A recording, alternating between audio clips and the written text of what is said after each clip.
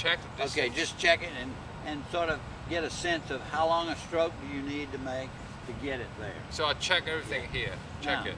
You're, you're using the traditional uh, uh, So grip and swing I, method, I, I, I'm using a clear key now. Yeah, okay.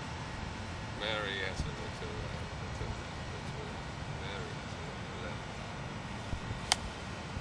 Okay, keep saying it because when you stop saying it, that allows the, the non-conscious to get in there. Uh, let's I let's try it again. let's pick a new clear key for you. Okay. Chinese chanting. Skip, Um, just basically good chanting, isn't it? Uh, here, we're gonna give you this. Legalized bingo, keep grandma off the street.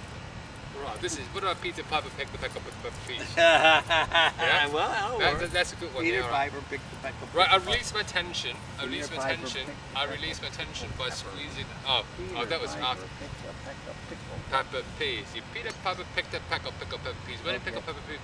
Where did pickle pepper peas that Peter Piper picked? Don't matter what Chinaman, is it? Yeah. Okay, check that distance. one. Checked it. Okay. it. Now I've got a better idea about where where I'm going to aim. aim with it. Now I start execute my my clear key. Okay. I can release my tension by squeeze it hard and Yeah, there you go. Okay. Peter Piper picked a peck of pickle pepper peas. You Peter Piper picked a peck of pickle pepper peas. Where did pickle pepper peas Peter Piper pick? Peter Piper picked a peck of pickle pepper peas. Not bad. Not bad. Not bad. Sure, I can putt it within three feet. Okay, let's. I'll, I'll, let me work that one with a seven iron.